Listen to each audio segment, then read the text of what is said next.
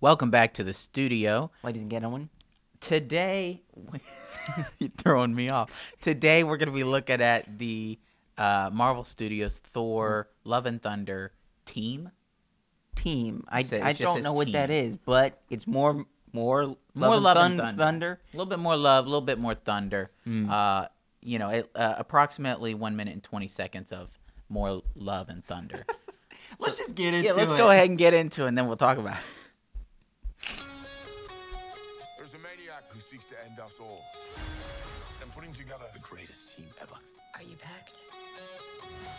Yes. We've got Korg. He's my best friend. Yes. There's my ex-girlfriend Jane.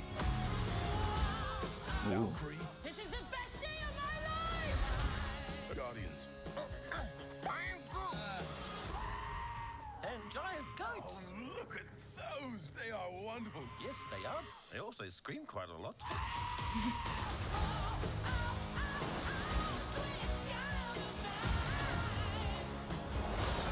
You said this would be a relaxing holiday.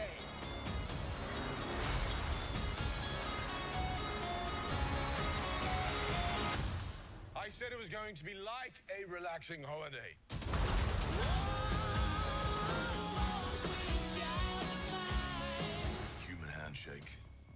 Asgardian shake. Into the snake that you cannot trust.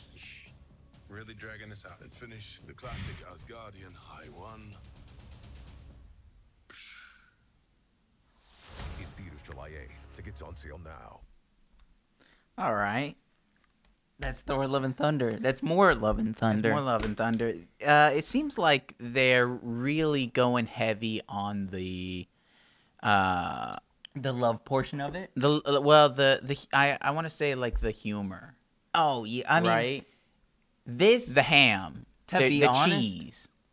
to me. I know it has the the Rainbow Bridge. It has Thor things in it. Mm-hmm. This feels like more like a gar- like Guardians, to me yeah. than a Thor movie. Uh, the you know the previous Marvel movies have always you know tried to sneak in a little bit of, of yeah, humor. humor, and it it, it kind of stemmed. I would say almost all the humor stemmed from Tony Stark, the way Robert Downey Jr. played Tony Stark and delivered his lines. Yeah. You know those little quips of humor and stuff. Because you didn't see it quite as much in Thor or the uh, the first Captain America movie. Not really. Um, but we got quite a bit of it with every Iron Man movie and with the Avengers movie. And then it was like every movie after that had to have that kind of Tony Stark esque humor of quippiness. Uh, and I understand it from Spider Man. That's always been his thing. Yeah. But when you t- you have like a serious movie, I mean, I I would agree because the first Thor, the comedy that we got was this the brute the like the male ego Yeah. and- of Thor, and it was like I love this drink, I like it, another, but it Mm-hmm. just felt like because he was such like a god and like a you you know this yeah, it wasn't this small like snappy Right. comment type Um, and the you know, so so they they put it in the more serious stuff, and it doesn't quite work as well. Mm-hmm. Uh, but when they when they throw all of it into like a Guardians movie or like a Yeah. Thor movie, it feels like it works a little bit better. Some stuff's obviously not gonna land, um, but to have kind of a a little bit of a humorous vibe. So. We watched um, Doctor Strange: The Multiverse of Madness, Mm-hmm. and walking away from it, we said, "Hmm, that didn't seem like a Doctor Strange: Multiverse of Madness movie. That seemed like a Scarlet Witch movie." Right.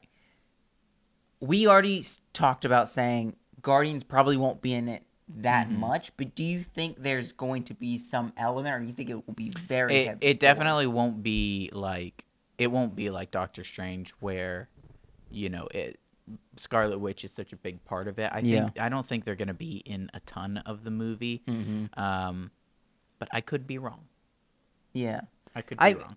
I they probably aren't. I would agree with you, but I'm curious because they are showing us a lot of this Jane Foster character. Mhm. If it's from our timeline, if it's from a different timeline, Yeah. if wh- whoever she is, I'm curious how much they're gonna show of her. I think she's probably She- gonna be in it a, a fair She's gonna bit. be in it a lot. Probably. I would say it. You know, there's gonna be if the Guardians are only in it for a little bit. Yeah. When once they leave, there's gonna be a little span of time. Then they're gonna introduce her to sort of take the place Yeah. of the Guardians uh, as somebody for Thor to interact with.